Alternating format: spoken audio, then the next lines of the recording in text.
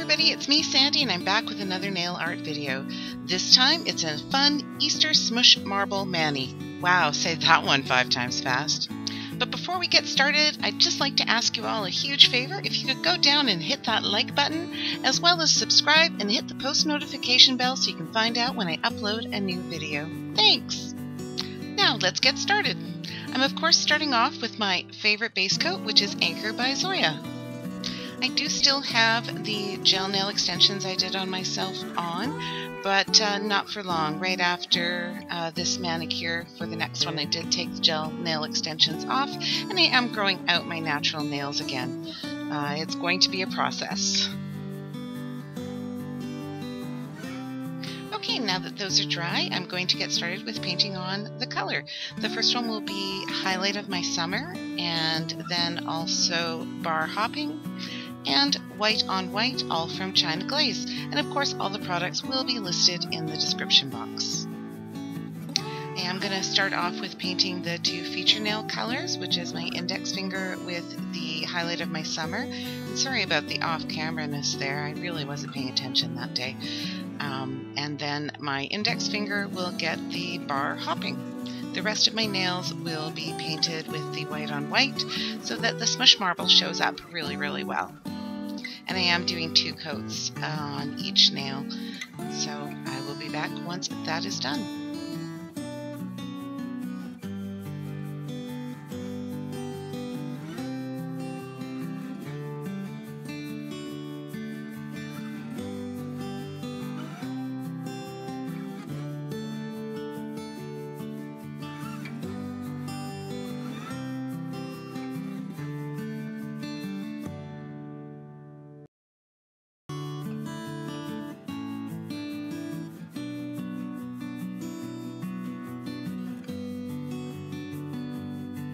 So now that the two coats are dry, I am going to put on a coat of Seche Vite. I was only going to do it on the two nails, the green and the pink one that we're going to get the um, nail vinyls, but I got sidetracked and just out of habit did them all with some Seche Vite. So it's just sealed in really nice. You do need to put on a fast dry top coat before using nail vinyls so that you don't pull up your base polish.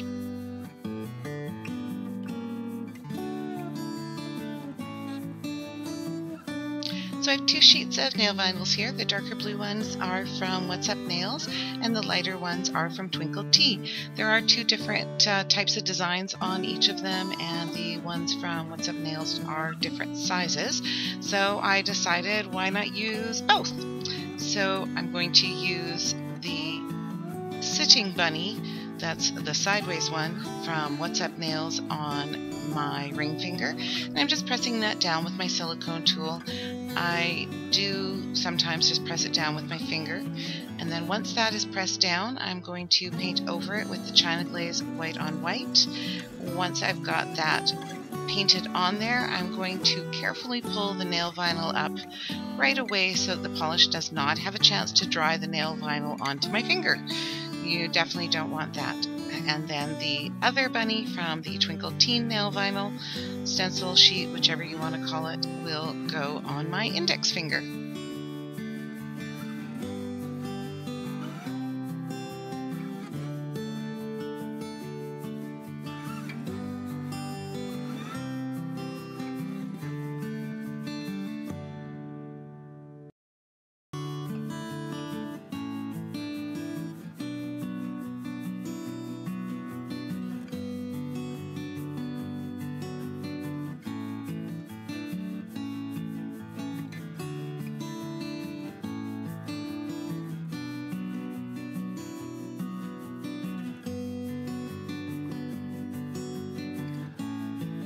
So now I'm just taking my black stamping polish, putting a little bit of it on my silicone mat, and then taking a fine nail art brush, and I'm just going to give my bunnies some eyes.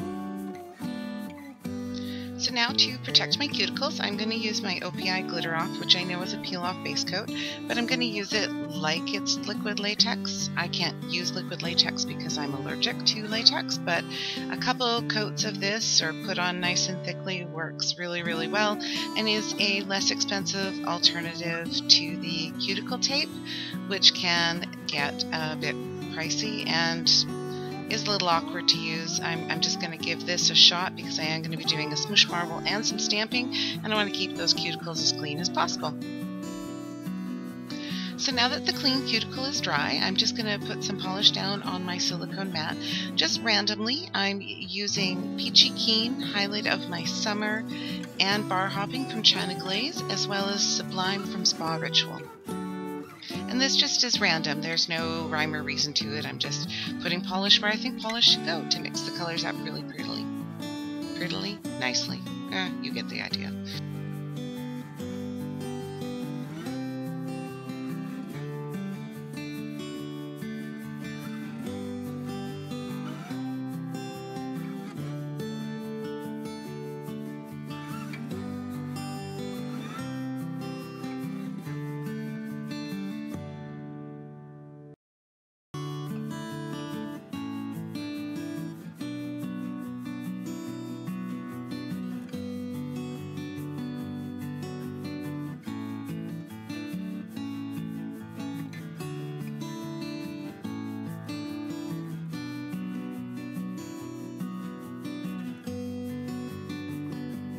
So now that all my polish drops are down and I'm happy with how much I've got down there, now the smush part of Smush Marble comes in. So I just pressed it into the, the puddles of polish and now I'm just going to place it on my thumbnail.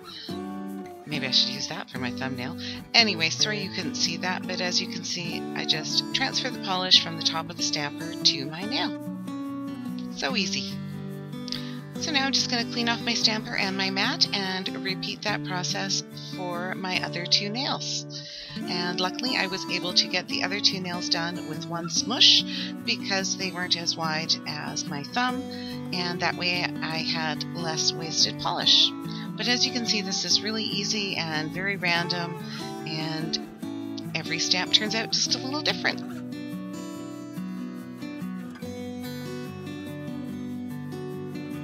So now that the smush marbling is dry, I've got my stamping plate from What's Up Nails, the B17 B017 Spring Elation, and I'm just going to lay down some of my black stamping polish from Clear Jelly Stamper, and I'm just going to scrape that. Just kind of a, well, more than a light scrape. It wasn't going across. Guess I need to use more. Usually I use too much.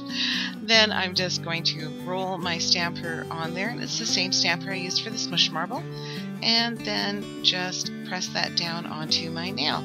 Now I didn't pull up the glitter off before I did this and I probably should have because I had a little bit of trouble pulling it off now. I am using three uh, different designs on here. There were three Easter ones and I couldn't decide so I decided to use a different one on each of the three nails.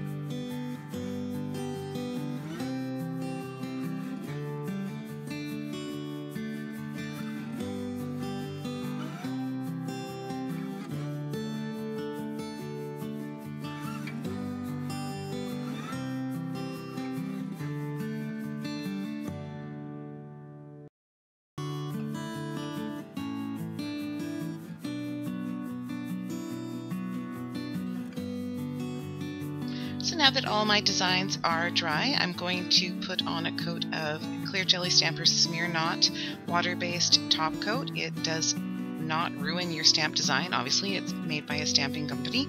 I really love this stuff, and what I failed to videotape for you was that I did put a coat of Seche Vite over top of all my nails after everything, the smear not, and all my other designs were dry, just to seal it all in.